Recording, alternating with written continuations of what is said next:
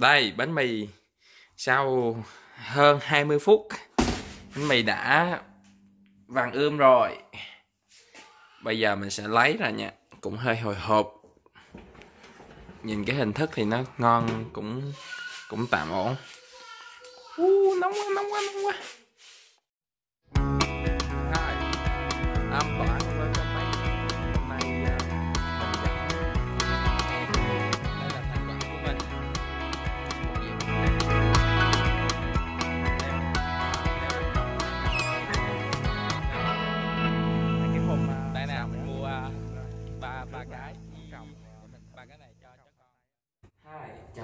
toán đây chào mọi người đã đến với nhà toán hôm nay mình sẽ làm cái món bánh mì bánh mì không của Việt Nam mình á, mà nhưng ờ, theo cái phong cách của toán đây là lần thứ hai mình làm bánh mì. Lần đầu tiên mình đã làm cũng khá là thành công rồi.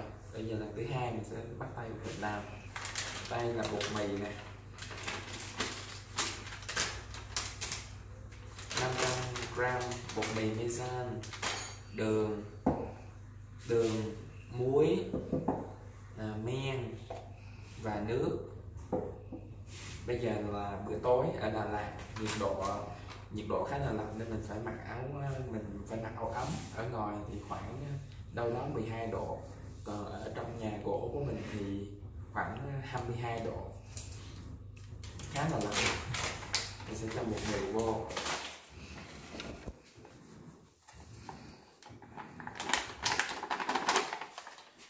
Mình ờ, ở cũng ờ, mình ở cách trung tâm ờ, 13 cây số ấy. nên ờ, hiện tại là mình đang đi theo cái hướng gọi là tự cung ờ, tự cấp thực phẩm. Cái càng này- nhiều càng tốt. cái này là men bánh ừ, mì. cái này là men bánh mì nè. Mình sẽ bỏ vô. Xong rồi sau mình sẽ cho nước vào. Nước sôi nước nguội nước lạnh. Cái này là nước bình thường thôi. Đây mình nước phải, nguội bình thường thôi. mình phải chừa lại một ít xíu để mình làm bột áo quên quên. Cái này là bột mì cuối cùng rồi. Bột áo là không có lẫn men nha. Đâu sao đâu. Này nước nguội bình thường. Ừ nước bình thường thôi. Cho tí xíu. Đánh lý ra mình phải cho muối vô. Đánh lý ra mình phải cho à, muối vô trước nhưng không sao đâu. Cái này cũng ít. Muối. Cho tí xíu muối. Tí xíu đường này là bánh mì theo phong cách của toản nha. Ăn cũng ngon lắm mà. Bây giờ mình sẽ nhào nè. Mình nhào bột.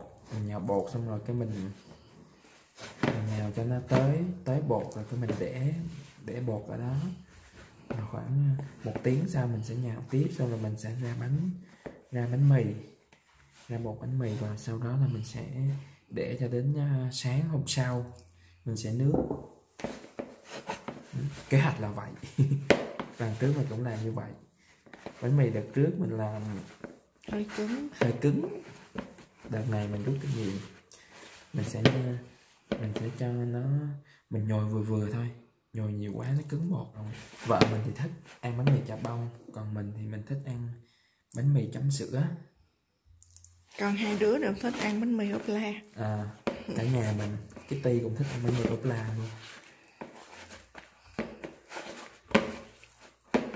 ngủ say rồi. Ừ. ba mẹ tranh thủ chuẩn bị đồ ăn sáng mai cho em. Ừ.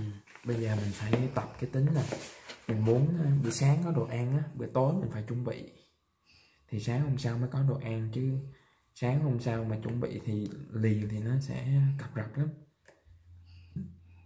Em nó còn nhỏ nó ăn ăn trẻ nó nhiều khi nó nó nó kêu lên gà nó quậy. quạo lên tội nó.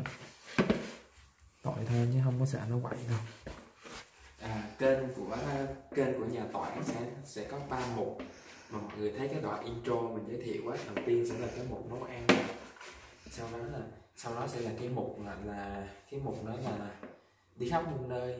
Là mình sẽ à, dẫn lâu lâu á lâu lâu ừ, mình sẽ dẫn cả nhà mình đi à, chỗ này chỗ kia ở Đà Lạt trước. Mình sẽ review cho cả nhà cùng à, cùng xem và cái mục cuối cùng là cái mục chuyện thế gian đó hoặc là những uh, um, chia sẻ về những cái trải nghiệm cá nhân của mình cũng như là những cái chuyện với cái um, cái quan điểm quan điểm trải nghiệm cá nhân và những cái quan điểm cá nhân của mình trong ờ, trong đó. À, cũng sắp được rồi. Khoảng 10 phút ha. Ừ, nãy giờ cũng được nhồi cũng được à, bảy tám phút gì rồi á bữa nào ba toản làm bánh tiêu nữa nha ba toản bánh tiêu này ừ ba toản làm bánh tiêu ngon. Bánh tiêu mình cũng biết làm. Bánh tiêu mình cũng biết làm được được à.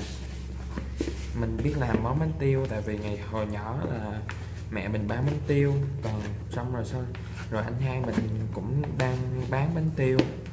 Nên mình có biết được làm bánh tiêu. Ok quay trở lại với bánh mì. Ừ, quay trở lại với bánh mì. Bột sắp được. Xong rồi sau đó mình sẽ để thêm một tiếng đồng hồ. Rồi mình sẽ, sau đó mình sẽ nhồi thêm một tí nữa. Rồi mình sẽ ra bánh và đợi tới sáng mai. Nướng thế là xong. Đơn giản. Trước khi mình à, mình nghĩ đến cái việc nấu xuất sắc thì mình làm cho cái bụng của mình nó no trước nè ai đồng ý với mình cái quan điểm này thì mình comment xuống phía dưới nha. Mình làm vợ con ăn chồng con ăn thấy ngon là tốt rồi ok. Đúng không ba? Ừ đúng rồi. Để đây. Nằm ngoan nha. Chút xíu nữa nó sẽ nở ra đấy. Rồi. Nãy giờ là hơn một tiếng đồng hồ rồi. Bây giờ mình sẽ bắt đầu mình gỡ bột ra và làm thành làm thành hình bánh. Ừ. cũng cũng nở nó cũng nở ra được ít ừ. nó mềm hơn rồi đó. Nó đổi màu vàng vàng. Bây giờ mình sẽ mình sẽ làm nặng hình bánh mì. Làm một cục bột bự bự đi. Bánh mì này ruột đặc lắm nha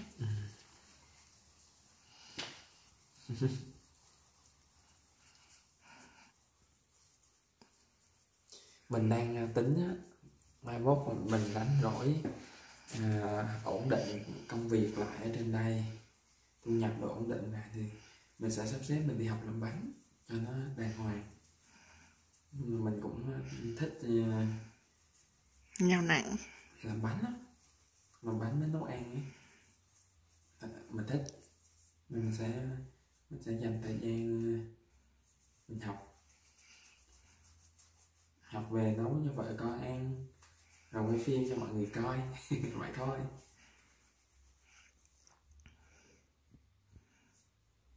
Giờ mình kiểu ờ, kiểu như mình lên mạng á mình coi ờ, công thức rồi này nọ rồi mình tự mình tự làm theo cái cái kiểu ờ, cái kiểu amateur nhưng cũng vui. Kỳ này anh làm ổ dài nha đừng làm ổ tròn giống lần trước nha. Lần trước ông xã mình làm ổ tròn do mập ú rồi mấy bạn.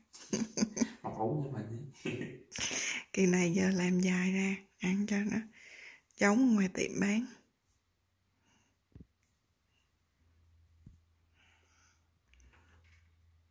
Cái phần mà nặng bánh mì á nặng cho ra hình bánh mì mình làm chưa được.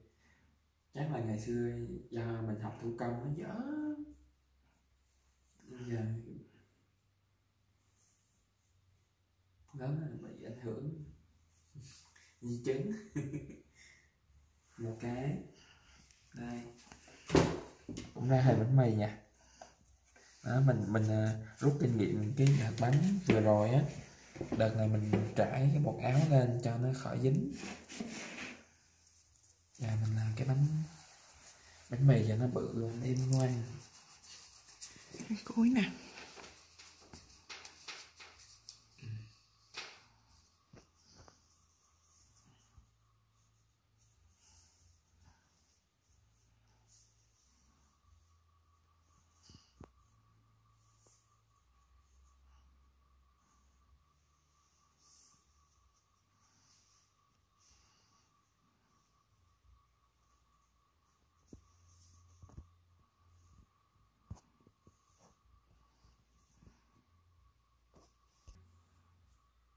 xong xong cái cuối. Bốn ổ mà bốn ổ bốn ổ để mình chỉnh lại cho nó đẹp tí. Cho nó giống giống cái hình bánh mì tí. Rồi cắt rảnh đi anh. Để buổi sáng để sáng mai là cắt. Nó khô rồi sao? Giờ cắt luôn đi. Khô thì để cho nó khô đó giờ cắt luôn đi cho nó mềm. Nó không biết là cắt ảnh trước hay nè nên là sáng mai nó cắt. Giờ cắt luôn đi. Sáng mai nó cứng rồi sao mà cắt. Bây giờ mình sẽ cắt rãnh cắt rãnh bánh mì. Có rãnh ở giữa không ta? Không không. Nó nhỏ vậy nè chỉ xíu thôi. Để xéo ha. Đó. Cắt sâu sâu lên tí rồi rồi. Nó thở. Ừ, cắt vậy nó sẽ giống bánh mì nè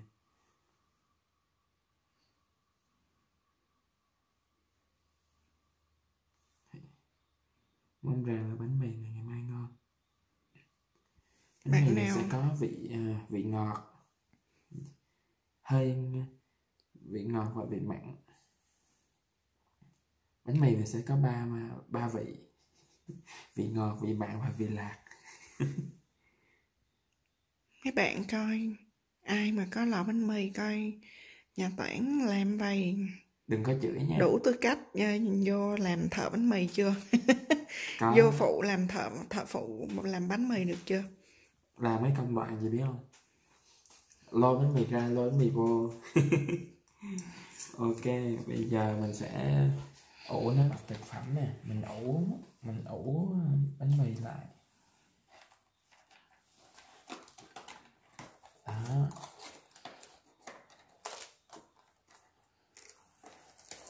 Ừ.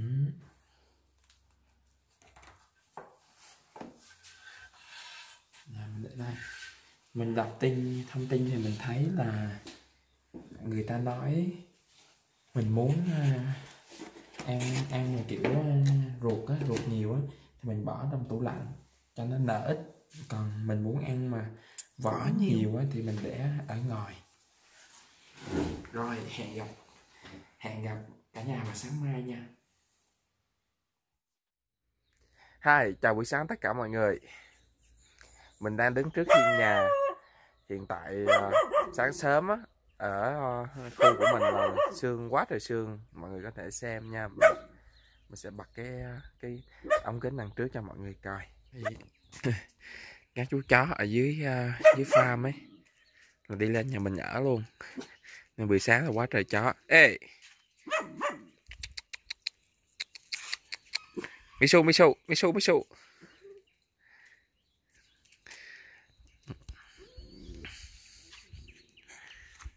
Sương mù dày đặc. Hiện tại là 7 giờ sáng rồi.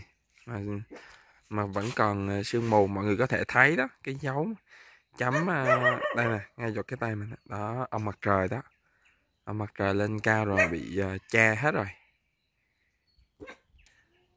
Ừ. Cái khu- bên hông bên đây bây giờ mình sẽ đi vào mình kiểm tra cái mẻ bánh mì của mình xem thử nó đã ok chưa nha wow bây giờ nó to cả- bằng cái bàn tay mình luôn rồi nè, cái bánh mì hôm qua đó. Bây giờ hôm qua mình để mình để tùm lum chỗ, hôm nay nó nó to, nó muốn che hết chỗ luôn rồi. Nè bằng bàn tay của mình luôn. Ừ, bây giờ mình sẽ gỡ cái màng bọc thực phẩm ra. Y da nó dính rồi. Rồi, xong luôn. Bây giờ mình sẽ bỏ cái khay cái khay bánh vào, mình hấp nướng chứ. Mình nướng chứ, xin lỗi. Mình sẽ nướng dặn vặn nhiệt độ 200 độ C. Nướng hai mặt. Để 20 phút. Rồi, xong. 20 phút sau sẽ có bánh ăn. Làm bánh mì đơn giản, đúng không cả nhà? Đó. Đây, bánh mì. Sau hơn 20 phút, bánh mì đã vàng ươm rồi. Bây giờ mình sẽ lấy ra nha cũng hơi hồi hộp. Nhìn cái hình thức thì nó ngon cũng cũng tạm ổn. Uh, nóng quá nóng quá nóng quá. Wow. Vàng ươm luôn.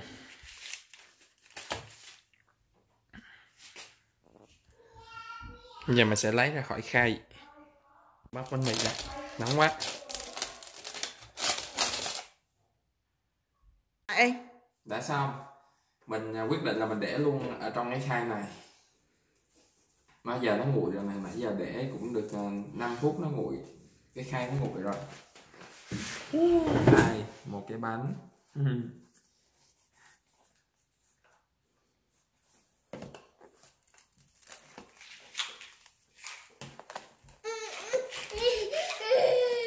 Hai cái. Bẻ cho con miếng. chấm sữa nha Ừm. ngon để ăn một miếng mì không thử vẫn có vị gì Tại hôm qua mình có cho cái đường tí muối á.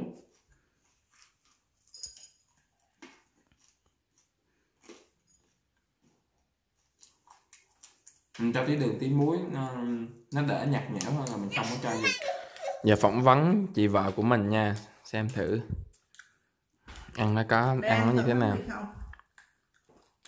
Nó vẫn còn cứng, vẫn còn cứng à vẫn còn cứng nhưng mà cái vị nó đỡ nhạt nhẽo hơn bé đầu tiên rồi. Bé đầu tiên Anh thấy- xã mình nhồi bột không, không có cho đường, không có cho muối. Anh thấy cái- anh thấy cái kiểu này anh ăn là nó khá là mềm rồi đó. Cái này là cứng. Nếu mà để cái tê ăn thì nó sẽ là cứng. Mình ăn mình cũng thấy cứng. Người ta bán người ta đâu bao giờ bán? Cứng dữ vậy. Vậy mà cứng cái gì rồi bây giờ mì với chà bông cái vị nó sao? Không. Ăn bánh mì với chà bông lại ngon hơn bánh mì không hả? Đúng rồi. Về nhà chà bông đúng không?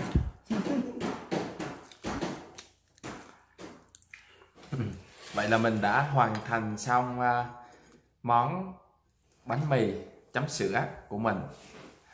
Từ tối hôm qua đến giờ nhưng mà cũng rất là vui khi mà đã hoàn thành được cái món này. Cảm ơn mọi người đã xem à, đến đây nha mình có gì mình comment xuống bên dưới mình à, cùng thảo luận. Nhớ đăng ký kênh à, nhà tỏa để ủng hộ gia đình tỏa nha.